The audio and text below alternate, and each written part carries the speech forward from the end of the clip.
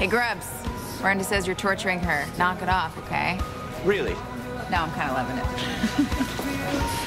Hi, friendly faces. Do you guys mind if I play third wheel for a little while? I'm not ready to go home yet. Yeah, you just missed my Millie rant. I want to hear the Millie rant. Oh, we've moved on to the Julian rant. Oh, great. Can you at least start from the beginning? You didn't miss much. I was just saying that sometimes our relationship seems so simple and easy.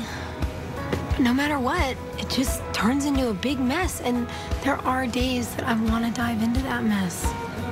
But then other days, I can't help but wonder if maybe we're just two people who don't work as a couple. But you love him, right? Like you don't even know. Then don't wait. Life's too short to play games. If you love somebody and you want to be with them, then go get them. Deal with the mess later. You don't know what tomorrow will bring.